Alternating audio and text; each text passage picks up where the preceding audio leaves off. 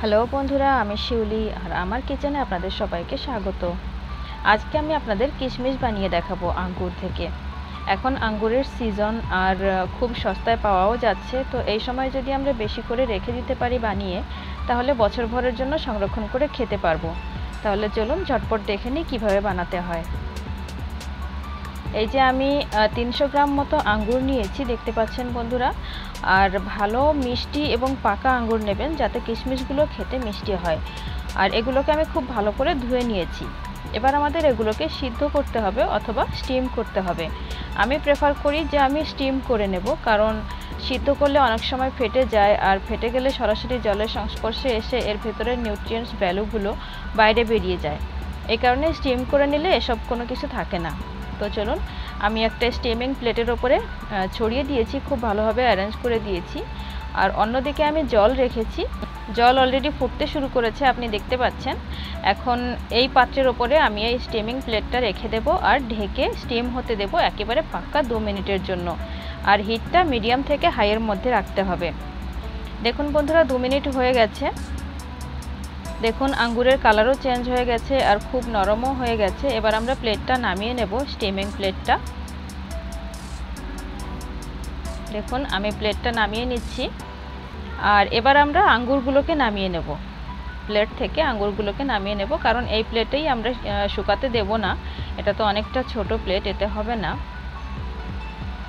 তো শুকাতে দেওয়ার জন্য আমি একটা বড় প্লেট বা একটা বড় বাসন, যাই হোক, বড় কোনো কিছু নিয়ে নেব। একটা ঢাকনা নিয়ে নিলাম আমি বড় সাইজের।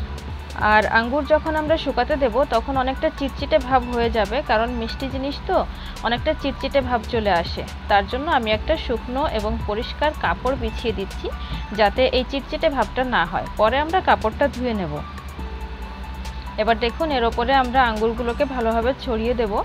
আপনি চাইলে ছাদের ওপরে সরাসরি কাপড় বিছিয়ে তার উপরেও আঙুরগুলোকে শুকাতে পারেন যে কোনোভাবে করতে পারেন।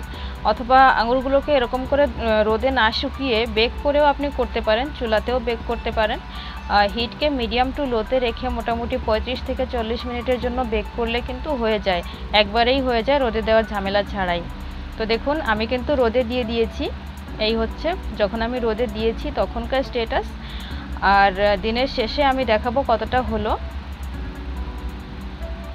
এই দেখুন, এই হচ্ছে প্রথম দিনের শেষে এতটা শুকিয়েছে।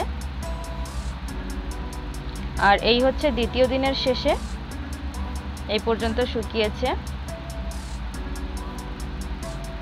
আর এই হচ্ছে তৃতীয় দিনের শেষে। কতদিন লাগবে শুকাতে সেটা ডিপেন্ড করে যে আপনার ওখানে কতটা তেজ রোদ আছে সেই হিসাবে। এবার এই দেখুন, চতুর্থ দিনে কিন্তু আমার কিশমিশগুলো একেবারে তৈরি হয়ে গেছে। এবার এগুলোকে আমি নামিয়ে নেব একটা বাটিতে। আমার এখানে তিন দিন লেগেছে, তিন দিনের থেকে একটুখানি বেশি লেগেছে। মোটামুটি বারোটা পর্যন্ত, চতুর্থ দিনের বারোটা পর্যন্ত আমি রোদে রেখেছিলাম। দেখুন, আমি অল্প অল্প করে এরকম করে করে রাখছি। এবারে এটুকু করেছি আর গত সপ্তাহে আমি কিছু করেছিলাম। এই দেখুন, এই কটা আমি গত সপ্তাহে করেছিলাম। আবার আরও এক ব্যাচ রোদে শুকাচ্ছে, এরকম করে অল্প অল্প করে করে আমি রেখে দিচ্ছি। বছরভর আমি সংরক্ষণ করে ব্যবহার করব। তো বছরভর রাখার জন্য আপনাকে মোটামুটি দু মাসে একবার অন্তত রোদ দেখাতে হবে, তাহলেই আপনি বছরভর রাখতে পারবেন। আর এই কিশমিশগুলো আমরা নিজেরা বানিয়েছি, একেবারে পরিষ্কার, পরিচ্ছন্ন, হাইজিনিক, কোনো প্রকার ধুলো, ময়লা বা অপরিচ্ছন্নতার কোনো ভয় নেই। আপনিও অবশ্যই এভাবে ট্রাই করবেন, আর ট্রাই করলে কমেন্ট করে আপনার অভিজ্ঞতা জানাতে একদম ভুলবেন না।